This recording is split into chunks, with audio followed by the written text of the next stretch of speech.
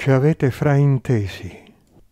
Il nuovo libro degli spiriti, a cura di VB, guida interiore.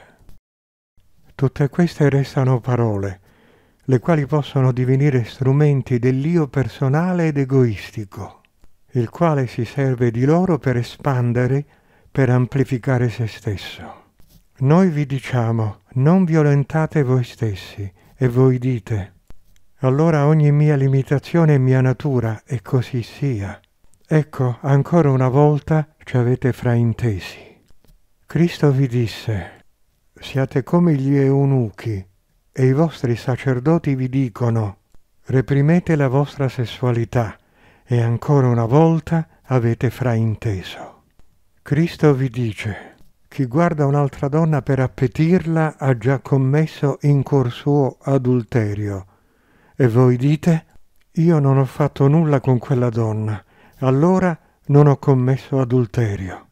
Così fate con le nostre parole ed è logico che sia così.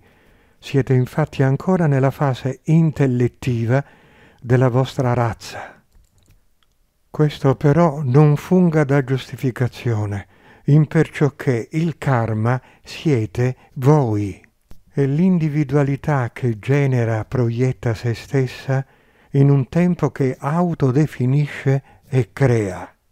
Tempo però che non è oggettivo dal punto di vista della coscienza individuale, in fotogrammi che non hanno nessuna reale oggettività, in una manifestazione che non è quale voi la percepite, in una entità che non esiste quale da voi esperita. Perciò crolla tutto il discorso che voi fate sul numero delle reincarnazioni, sul ciclo, sulla manifestazione. Crolla miseramente quale ulteriore manifestazione ed ultimo baluardo dell'esistenza del vostro io che vuole espandersi. Questo fa sì che le parole della sorella che mi ha preceduto giustifichino coloro che non vogliono perdersi in complessi ragionamenti. Ma voi che non volete questo, chiedetevi se non lo desiderate perché avete paura di non trovare la strada o solo perché non ce la fate.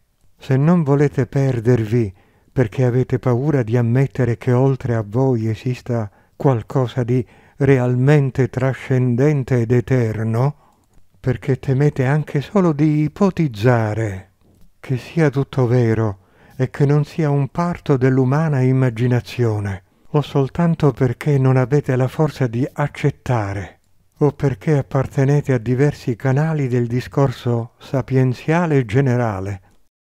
Ora vi è stata fornita una motivazione, ma voi subito dite non sono d'accordo, appartengo a un diverso canale, e così non promuovete la causa della coscienza individuale.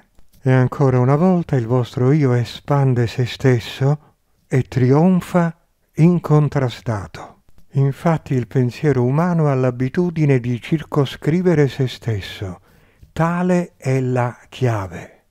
Non lasciatevi dunque rinchiudere nelle molte prigioni che il vostro io costituisce intorno a voi, alla vostra vita, al vostro presente ed a quel che vi attende.